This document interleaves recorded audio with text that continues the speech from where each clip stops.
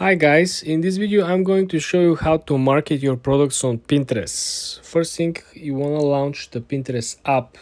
Let's say in this example we're trying to market our product which in this example will be watches. Let's say we have a bunch of vintage Seiko watches and we want to sell the watches through the Pinterest. First of all, you, you gotta do your own research and due diligence, right? You wanna click on Seiko on the search bar and then you want to click on the top left side where you see the additional settings. Here you want to click on the actual products. We don't want to watch videos boards and profiles. Let's see what kind of Seiko products are currently on the market and what are the prices how people structure their posts. And we can see are there any sales? Because remember if you see listings but you don't see any reviews or ratings this means that this particular item did not get any sales as you can see over here we have a bunch of different listings. For example let's take a look of this one. This is coming from chrono right? We all know Chrono24 not much of a of explanation. Very very simple. Uh, no sale on this particular one. Let's find something that already got attention and something that already got sale. If you scroll over here. If you if you can see most of the pictures are not professional. Most of the pictures are very genuine. So I, I, guess this is the go over here. This is the way how they can actually reach out to the broader audience. So this for example over here if you see it comes with the actual tag. Let's see where they're actually selling it. When you click on additional details again this is Chrono24 on the previous examples I showed you, right, a lot of the products were actually listed on eBay. This is very interesting. And I presume seeing that all these people are actually listing their items on the same website, you may have guessed that, you see, there's a bunch of Etsy listings over here. Let's take a look of this seller. Okay, so now as we see over here this seller include much more description much more information. This is definitely uh, helpful considering that this person is ranking much better than other listings. Especially considering this particular model. I haven't seen this model before but uh, as you can see everything especially if you're selling internationally etsy probably is the way to go but let's let's take a look even even more models over here. You want to make sure that you have all the necessary data so you can compete appropriately right? So we saw a bunch of different uh, individual sellers. Now we're looking at a store with over 108,000 followers. So they're selling this particular watch. Let's take a look what their description looks like so they simply input the description from the actual page. Let's take a look at here. Not much of a description but having this large audience over here uh, indicates that the pictures are actually the most important part not the description. Let's create our own listing. For this example i downloaded already an image uh, from google of seiko watch right? And as we saw we can include the model. We can say that this is a Seiko men's watch. This is a general description. Then we can go down and simply include the actual sizing right? We can include that this is 36 millimeter for example.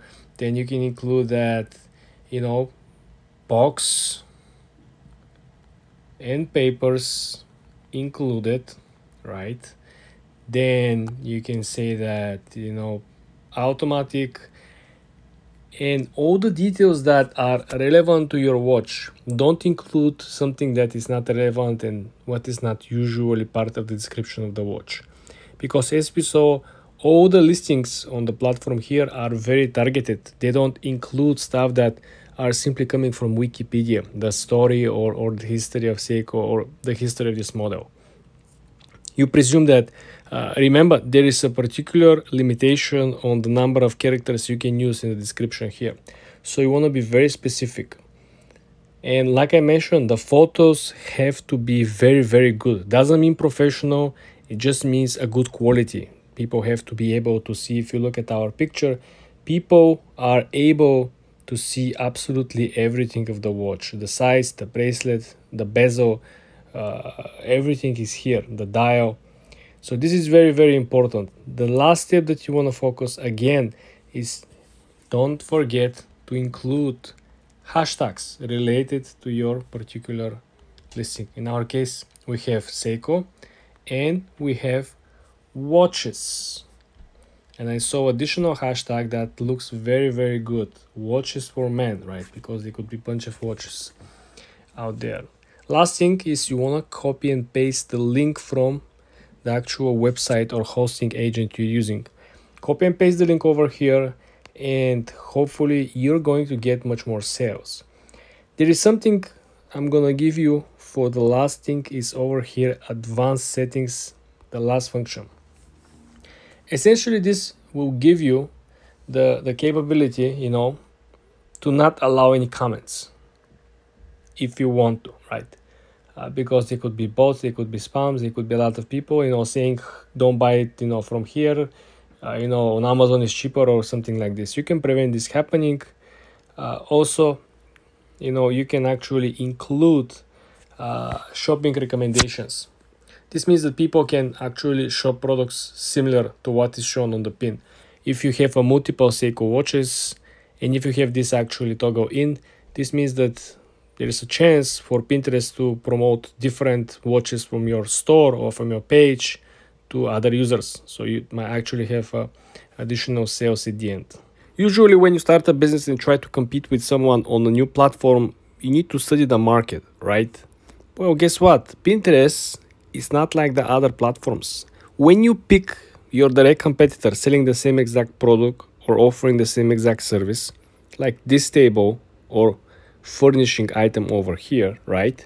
You would see who is the next competitor on the line by simply scrolling down. Well, guess what? Look at this. All the Etsy sellers and original with the own website as you can see over here bedroom makeover ideas right and every other competitor is right over here dark classy right you don't have to go on etsy and look for your competitors to see what is working and what isn't. Because yes you could see the orders right? You could see how many people are actually viewing the items but you cannot identify which type of content is actually generating the most. Just look at this. If you click on this offer over here right you see what they're offering.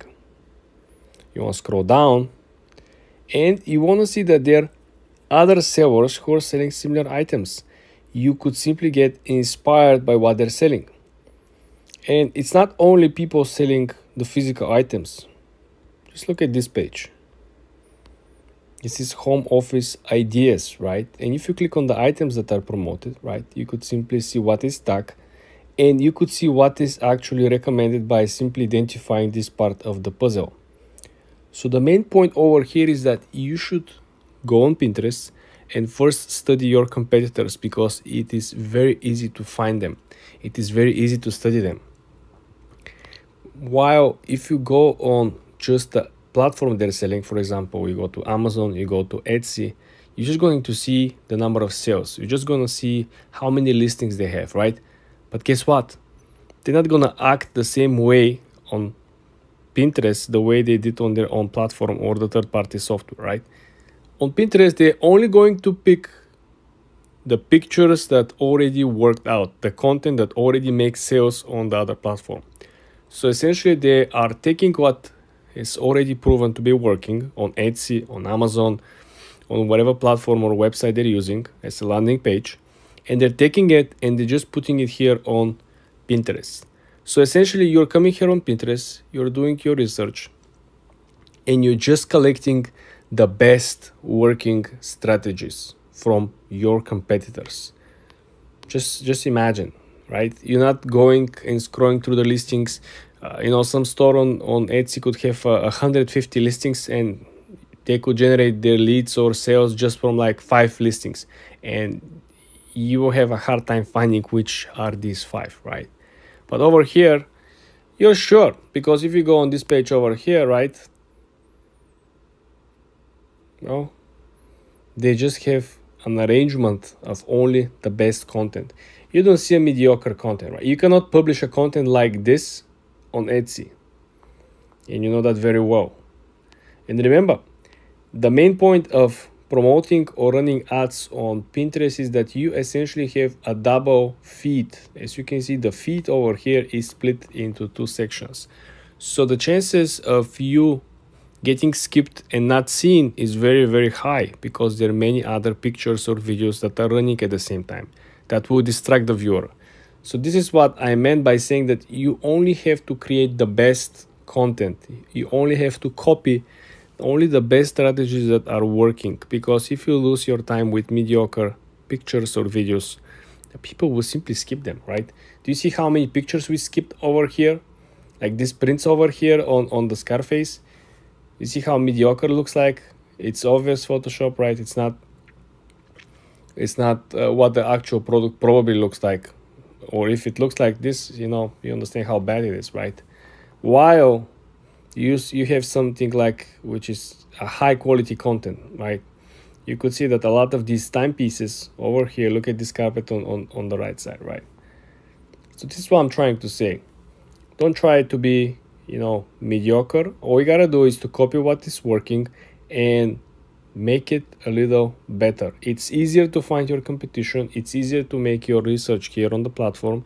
And like i said you could have your chance by simply using the working strategy. Don't try to reinvent the wheel. For more tips and tricks like this guys subscribe and come back for more Guys, in this video I'm going to show you how people are making a lot of money on Pinterest app and it's all about how you promote your product. I'm gonna give you two examples and your mind will simply be blown away. Let's launch the Pinterest app first. Let me show this product over here. You see somebody actually sold out this product on Etsy and they're selling it for $49.99. Well, guess what? The same exact product over here on Shein is selling for only $8.90. Same exact print. You see, keep on going, never give up, right? It's only $8.90. 56 orders so far. If you go all the way up, they're selling the same exact one. Do you see that? Never give up, right? Keep on going for 50 bucks. How about this? This is the power of Pinterest, my dear friends. You can find any product that is competing with you, that is part of the niche, it is part of the industry. And you can find how people are actually selling it. Are people drop shipping it? Are people creating a private label? As you can see over here, there are a bunch of different sellers selling the same exact product, same print, same design, absolutely the same product and the disparity in prices is mind-blowing. Just think about what is the difference between selling a hundred pieces of this nine dollars right per piece which is 900 dollars in revenue versus the person who is selling it for 50 100 pieces for 50 is essentially five thousand dollars my dear friends. So i hope you very very clearly understand the difference between marketing the same exact product but paying attention who is selling this product to. So very carefully that when we click on the first option, which was the $50, I will go back and I will show you this one for $50, right? And when you click and visit the Etsy store, these people are selling in Europe. Simply because as you can see, the price is in euros, okay? Versus if you go on the Shein, right? I, I'm not sure if Shein is available in, in Europe, but if you simply click on it, again, click the notebook, scroll down to the competition, click on the Shein, you visit the actual Shein store, and you will see that this is not available in Europe. This is only for US. So this is how people, obviously, we can speculate that they're, uh, you know, getting the product from Shein or from other Chinese supplier but people are making a lot of money. And just think about you might be doing this from the comfort of your home. Just taking a better pictures, creating a better sales offer, sales pitch. Because just compare over here. Look at the description in this, you know, the cheaper one, right? One piece, you know, uh, em embossed cover notebook, you know, blah, blah, blah. Nothing special. Pictures, Mean, it just looks okay. Nothing wow. If you go back on the on the 50 bucks, right? Look at this. Things are looking much more professional. It looks like this is a very good gift for a person that is uh, into business, the person that is is creating his own, you know, uh, texts, own plans, own, uh, you know, notebooks, taking notes. Person that is very organized. You can give this to someone that you know essentially has everything. It looks like a good gift for a person with money. It looks like a good gift for a person that is just, uh, you know, into artistic uh, hobbies. So, I want you to pay very close attention how you can market the same exact product, but because your marketing is better, you can simply charge more 10 times, 20 times, 30 times more. And this is how you can make a lot of money. Same pictures will not do the job. Same product could do the job, but the same marketing strategy and the same pictures will not do the job. For more tips and tricks like this, guys, subscribe and follow for more video guys i'm going to show you how people are making a lot of money on pinterest they're using their imagination and sometimes the skills that you need are not the skills that you're actually selling let's launch the pinterest app and let me show you what i'm even talking about look at these sneakers over here people are selling a custom air jordan sneakers okay we can speculate how they actually end up with this product but guess what? If you know that there is a market for customization, you can simply go out there, find someone who is actually into coloring, painting, shoes, clothes, right? And you can buy the plain Air Jordan. You can pay the person to customize the shoes, take a pictures and publish it.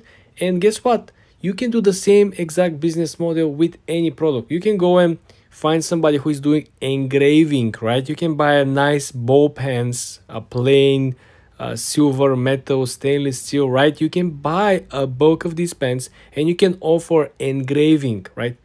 You can buy the pens for uh, 50 cents on the dollar and you can find somebody to do a 50 cents engraving and there you have it. You got a $1 cost acquisition on your product and you can charge for 9.99. Who's not gonna buy a ball pen for 9.99, right? With a custom engraving. Don't forget you're to be charging shipping, so on and so forth. But this is just an example over here, guys. I want you to look that they're charging for this particular sneakers over here almost $250, okay? Very, very interesting. When you actually scroll down, you will see that there are other people who are doing something similar. We all know if you go on the actual Nike website, they will offer you a customization on some of the shoes, right? Uh, but they're not gonna offer you something like this. Just look at these pairs over here right? This looks crazy looks insane. Somebody really put a lot of work and you see the prices are all the same. And if they're here guess what? A lot of people are actually shopping stuff like this. A lot of people are into stuff like this so i want you to think about what custom item or custom service you can provide or you know someone that could provide and I want you to connect the dots. I want you to find the product, plain and simple, find the service that will customize the product. Then I want you to order or make a sample, take a nice, very high quality pictures, and then I want you to come over here and publish it. Because if you look, people are doing crazy stuff.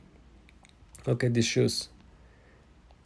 These shoes probably were simple plain Nike Air Jordan and people just customize it like crazy right? And there is a huge market around this. We all know there are a lot of people who are actually you know just buying the shoes and just keeping the shoes at home. It's like a painting like a work of art. They're not using the shoes.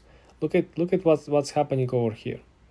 The prices are crazy. You see this for 720 dollars and this is coming from nike okay see there other you see people selling it on Poshmark. People have their own landing pages. There's a major, major interest and demand for shoes like this. Customization everywhere. So I want you to think about customizable item that you could have, right? Like I mentioned, pens, notebooks, you can offer, like in the previous video, I shared with you how somebody is actually selling a thick notebook uh, with a leather cover and with emboss.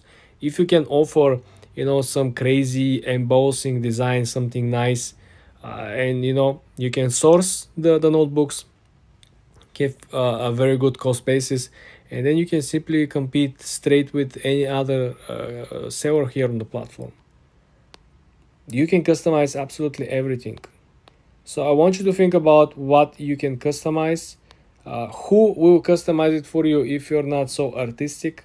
I want you to think about or look someone who can actually give you a good price. There are plenty of people with a lot of skills.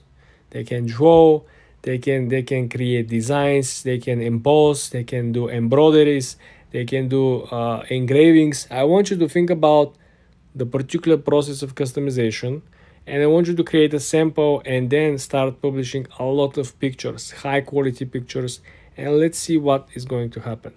For more tips and tricks like this guys subscribe and follow for more